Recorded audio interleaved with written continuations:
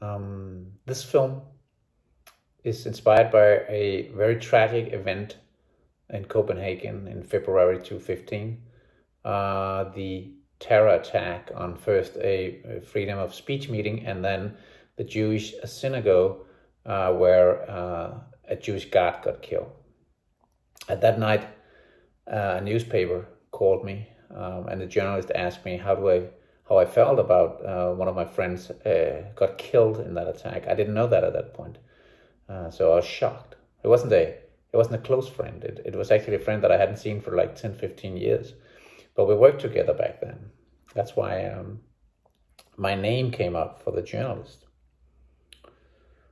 Um, this it's it's this stayed with me. I mean, when when terror when terror invades your life, um, it stays with you.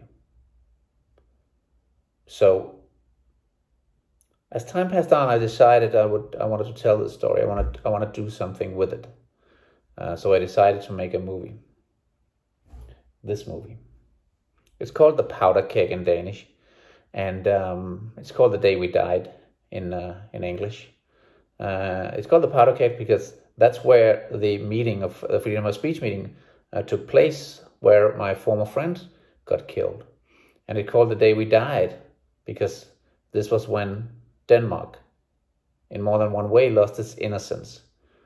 Before that, we were a small country that sort of felt safe. And uh, even though we had the Mohammed drawings and we had a lot of controversy in the world with the Iraq War and the Afghan War, we still thought we were, in the, we were like protected but now we were a part of the uh, ISIS terror, international terror wave.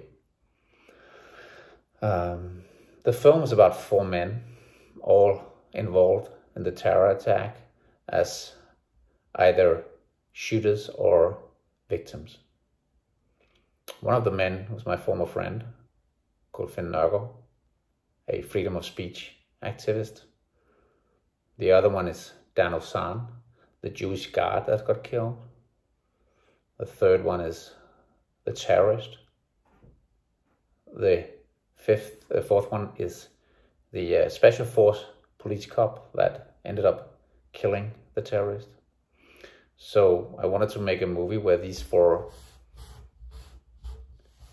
men circled around in their life on this very night.